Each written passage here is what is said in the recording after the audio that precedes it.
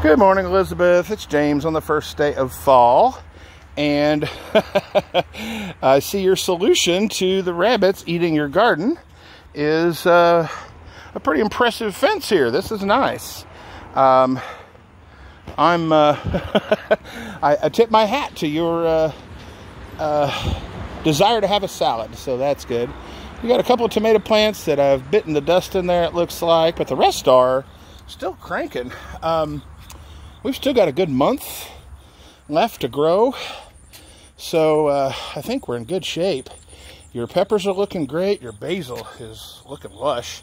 Uh, make sure you pinch those uh, buds there. I'll pinch a couple of them for you here. We don't want them to get bitter. Uh, kale is rebounded nicely. Uh, tons of peppers over here, looks like. Still got some beans growing. Hope you're enjoying those. Um, we really do. I have uh, two whole beds planted myself, and we've been eating them like crazy.